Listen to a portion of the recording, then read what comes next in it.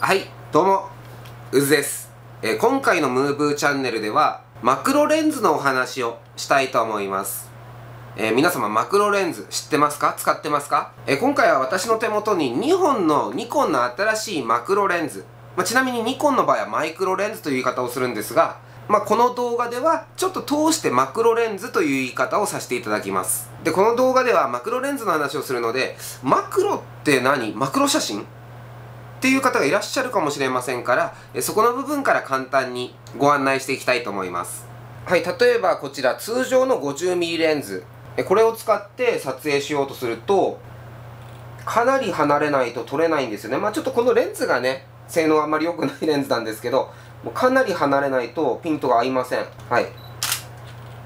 もう近づくとダメですね。全然撮れない。に対してマクロレンズだと全然寄っていけます。例えばこのぐらい近くても全然撮れるし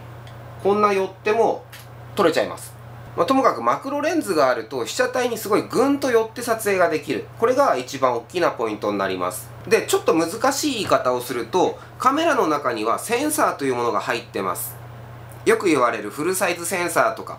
APS-C マイクロフォーサーズとかいうセンサーの規格ですねサイズがありまして。でそのセンサーと同じ大きさで撮影できるのが等倍撮影。えそしてセンサーに対して50%半分のサイズで撮影できるのがハーフマクロ。という言い方になります。今回はこちらニコンの 105mm のレンズと 50mm のレンズ。えそれぞれ焦点距離が違うレンズなんですけれどもこの 50mm や 60mm タイプ。そして 100mm タイプ。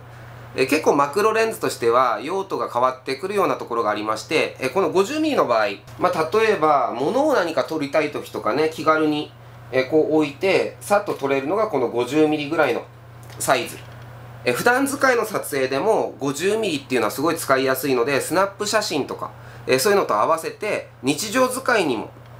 利用できる気軽に使えるマクロレンズ。それがだいたい 50mm60mm っていう感じになってくると思います。それに対して、はい、この 105mm、まあ、もしくは 100mm、90mm っていうレンズに関しては、花や昆虫などを撮るのに、え極力ね、近づかい、ちょっと離れたところからでも、大きく撮影ができるのが、100mm 前後のレンズ。で、100mm ぐらいのレンズっていうと、ポートレート撮影などをした時に、パースがつきにくくなるんですよね。遠近感が。えなので、え被写体を写す時に、その人物を際立たせて撮るのが適してるレンズということになりますので、えポートレートの撮影に関しても相性がいいレンズとなってきます。もうもちろん反対にね、24mm とか 35mm とか広角な、えポートレートっていう考え方もあるとは思うんですけれども、はい。え 105mm はポートレート撮影もやりやすいレンズっていう、えそういう考え方で使うと、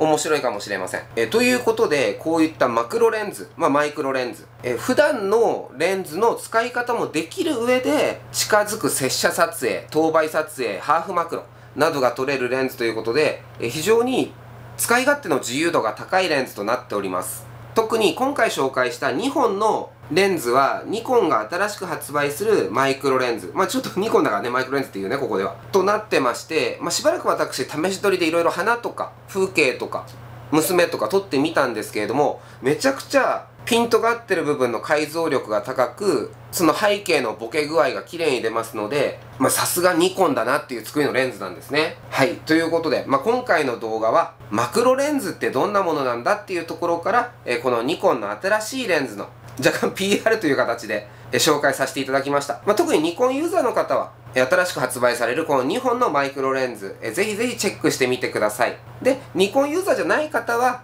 それぞれ各メーカー、あとはサードパーティー製のレンズでやはりマクロレンズというのが色々ありますので